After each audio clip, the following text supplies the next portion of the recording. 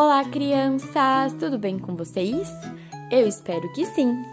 Hoje eu vou falar sobre o Evangelho de domingo, que é o João, capítulo 6, do versículo 1 ao 15. O Evangelho de hoje conta que Jesus estava em Tiberíades, do outro lado do mar da Galileia. Lá, uma multidão o seguia, por conta dos milagres que ele operava com os doentes. Jesus subiu ao monte com seus discípulos e percebeu que haviam muitas pessoas. E então ele questionou aonde iriam comprar pão para todos.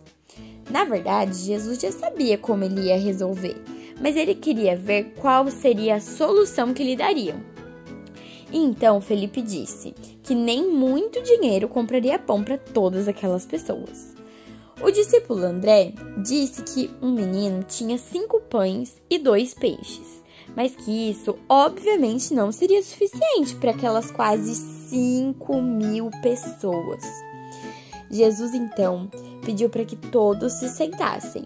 Ele deu graças e dividiu o pão e os peixes. Ele deu a cada um o quanto queriam e depois que todos estavam satisfeitos, ele pediu aos discípulos que recolhessem as sobras, para que nada fosse perdido. Os discípulos então fizeram o que Jesus pediu, e eles acabaram recolhendo doze cestos com as sobras dos cinco pães. Percebendo o milagre, os homens falavam: Este é verdadeiramente o profeta, aquele que deve vir ao mundo. Mas Jesus, quando percebeu que queriam levá-lo para proclamar ao rei, ele se retirou e foi sozinho para o monte. Então, crianças, esse foi o evangelho de hoje.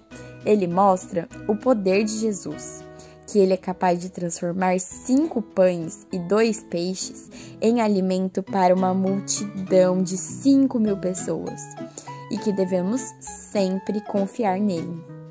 Até mais, crianças! Tchau, um beijo e até o próximo vídeo!